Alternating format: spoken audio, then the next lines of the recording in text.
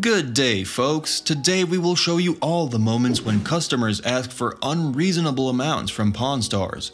Medieval poleaxes. Davis enters the shop dressed like a Renaissance battle fighter. With the medieval poleaxes in front of them, Corey and Chumlee couldn't help but be enthusiastic. Davis had been collecting poleaxes for the past 20 years and was ready to sell them to the pawn shop. Poleaxes. Okay to put these down? Yeah, go ahead and set them over here. Where'd you get these? The Renaissance Fair? No, I got. Corey thinks these poleaxes will sell quickly to a military collector, but he must first verify that these two are genuine. Davis wants $7,500 for each, so Corey enlisted the help of an expert to examine the poleaxes. When the expert arrived to check the objects, he determined that both poleaxes are from the Victorian era and one of them is merely a decorative piece, indicating it was never used in a battle. I disagree. You think it's not original because it's flimsy, but that thing is hand forged and I believe it's original based on what I've studied. They were hand forging things in the Victorian. According to the expert, the decorative component should be valued around $700, while the actual one is worth around $1,500. Davis couldn't accept this and became irritated with the expert as a result. Corey, on the other hand, believed the expert's remarks and only offered him $1,500. Davis is pissed by the low rating and has stormed out, outraged at everyone. Well, if I were you, next time I'd buy one, I'd call Craig too. All right? Appreciate it. All right, thank you. Bye. Lucky Luciano's pendant. Lucky Luciano, the crime boss, certainly wore hundreds of rings in his lifetime, and David was one of the lucky ones who acquired a piece. He went into the pawn shop store and claimed that his mother had been given a Lucky Luciano ring, which David had kept for 40 years. Signet ring of the mafia boss Lucky Luciano. This used to belong to Lucky Luciano. That was made for Lucky Luciano. I've had it in hiding for 40 years Why would you have it in hiding? Because Now he tried his luck, but Rick intervened. I guess luck isn't on Lucky's side because there's no proof that the mob leader wore the ring. And we all know that rumors can't be relied upon to make a six figure profit. There's nothing I can do. Okay, have a good one, man. thanks. I think that if I do a little more research, I'm actually going to prove the piece's authenticity, and I think I'm going to be able to get some Photo of Abraham and Mary Lincoln. Mark entered the room carrying a one in a million item. He demands $1 million for a photograph of Mary and Abraham Lincoln. He told Rick that he knows he has the Holy Grail photograph in history. Rick is intrigued by the item because if it's real, then it will be a jackpot for him. So a picture of Mary and Abraham Lincoln from, I believe, 1863. I thought Abe only took photos by himself. What are you talking about? Oh, he's right about that. He enlisted the help of an expert to verify its authenticity. However, it turns out that the photo does not depict Abraham and Mary Lincoln. Okay, it's not a problem. It's your career. You have a right to discredit yourself.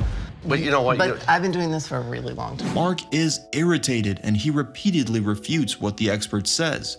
In the end, no agreement was reached because he still believes that the photo he owns is the real deal. not a big deal. It will stay in the collection.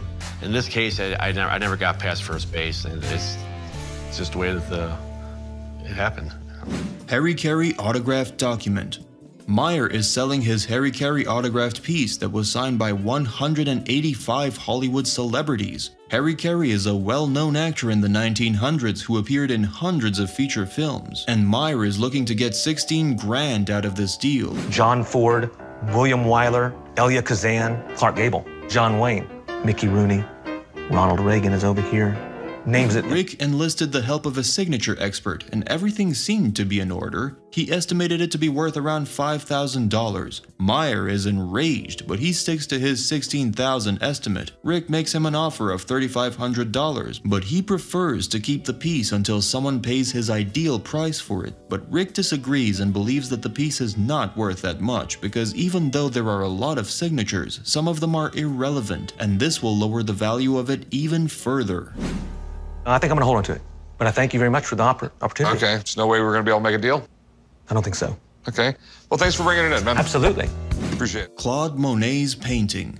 Claude Monet's paintings are a gem in the entire art industry, and this man carried their family heirloom on the gold and silver pawn shop with pride, and this is a breathtaking Claude Monet painting. He expects a million bucks for it. At the Las Vegas Art Museum? It was in All right. 1997. Okay.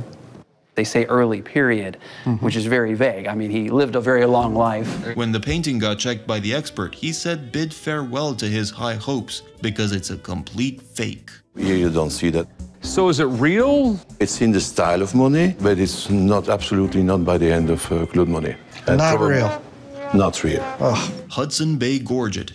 Chris walked into the pawn shop with a serious expression on his face, clearly eager to make some business. He brought his Hudson Bay Gorget in the pawn shop to show Rick and the old man, and he wants $100,000 for it. Want cash, they don't want coins. Yeah. They wanted stuff. Yeah. And how much you want for it? Uh, probably about a hundred thousand. When Rick inquired about the item, he discovered that Chris's father had used his mortgage payment to buy the gorget at an auction. Rick double checked the item and discovered that it isn't from the 1700s. He told Chris that the price should be around $1,000 because it isn't particularly valuable. Chris began cursing and declared that Rick's methods would not work on him. He stated that he would simply go. He's furious at the offer, but Rick and the old man don't mind letting a punk kid like him go because they would never even consider making a $100,000 deal with a rude customer like Chris. Um, I'd offer you a thousand bucks.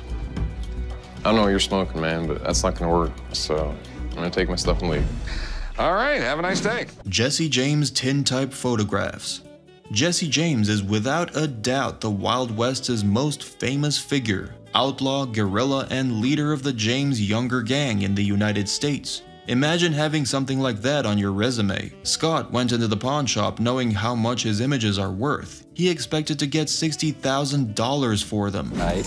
Photos of the James gang. This is really, really cool. By the way, that is like the worst way in the world you could store those photographs. Paper towels like that are made for scrubbing. Rick had to call in the expert, and upon authenticating, the photos are far from the real deal. Due to the photos being way less valuable than expected, Scott had to go home without closing a deal. Seeing it. I'm not seeing it. Sorry, I'd give you 10 bucks a piece for them, but I don't think you're going to take it. nah, I can't do that. Have a nice day, man. okay, thank you for your time. I have no. Babe Ruth baseball card. Derek went to the Gold and Silver pawn shop in Vegas with the hopes of selling his Babe Ruth baseball card. He just got this treasure from the shed of his backyard. When Rick asked him how much he wants for it, he immediately said $65,000. Card. Where did you get this?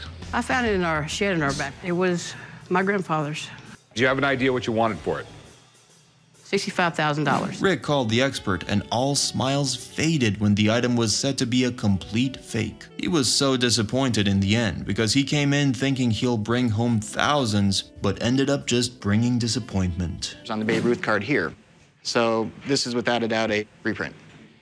Ah, $65,000. That close, but no cigar. This is where we'll end our video. We hope you enjoyed watching. Make sure to comment, hit the like and subscribe buttons, hit that notification bell for more videos like this, and share this video with your family and your friends. See you soon.